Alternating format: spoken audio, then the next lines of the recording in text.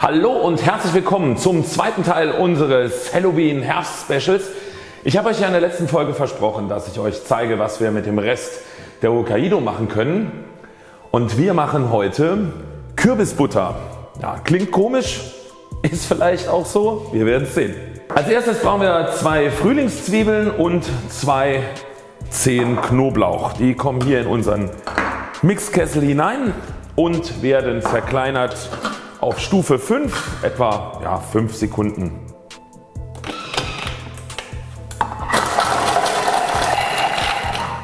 Das Ganze runterdrücken und dann geben wir den Rest von unserem Kürbis hinzu, den wir bei unserem Kürbischili, ihr könnt euch erinnern, noch übrig hatten.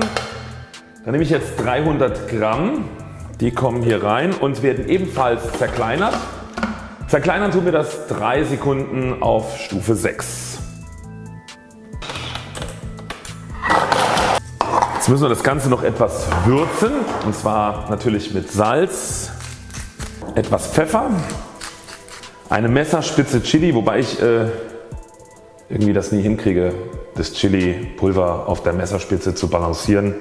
Deswegen mache ich einfach ein bisschen rein. 5 Gramm Olivenöl mache ich noch dazu. Das messe ich jetzt hier direkt im Kessel ab. Und wir dünsten das Ganze 8 Minuten Stufe 1 100 Grad.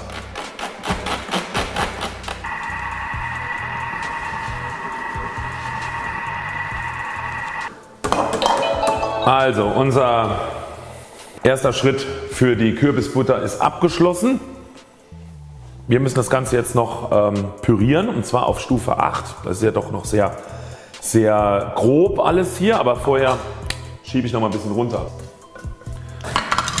Stufe 8, etwa ja, ein paar Sekunden. Guckt halt rein, dass es ordentlich püriert ist, dass es schön gleichmäßig cremig ist. Ich denke mal so 4-5 Sekunden müssten reichen. Ja, jetzt hängt die ganze Suppe natürlich oben im Deckel, klar. Also alles runterstreichen nochmal in den Kessel.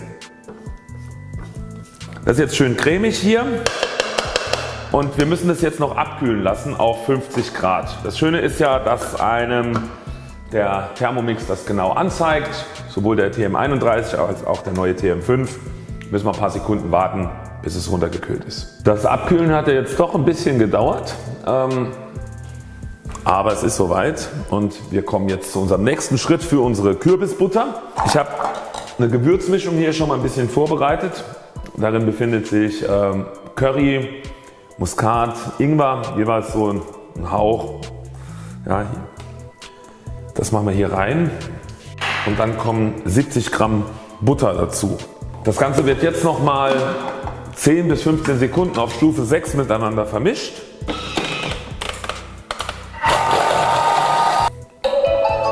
Schauen wir mal nach. Ich habe das jetzt mit 11 Sekunden hier angegeben.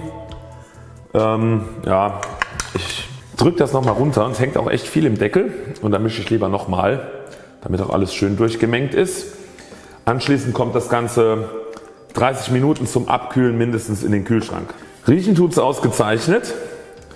Wird also glaube ich ein sehr sehr leckerer herbstlicher Brotaufstrich.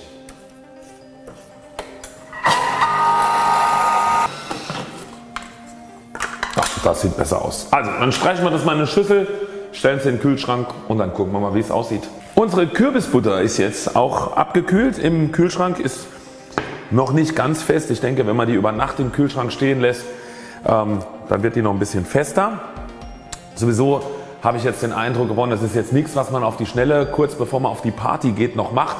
Sowas bereitet ihr besser dann am Abend vorher vor, weil das durch dieses Abkühlen auch vorher schon im, im Kessel einfach ein bisschen länger dauert, als das bei anderen Brotaufstrichen der Fall ist. Trotzdem kommt jetzt die alles entscheidende Frage. Wie schmeckt es? Ich habe mir jetzt ein Zwiebelbaguette äh, geholt, weil ich glaube, dass das ganz gut dazu passt. Und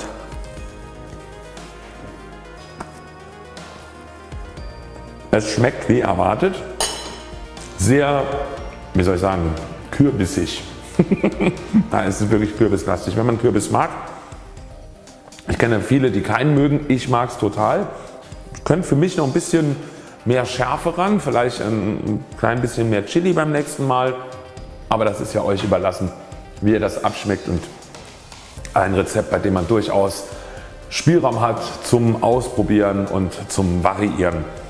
Ich wünsche euch viel Spaß beim Nachkochen und sagt erstmal guten Appetit. Bis zum nächsten Mal. Ciao, ciao.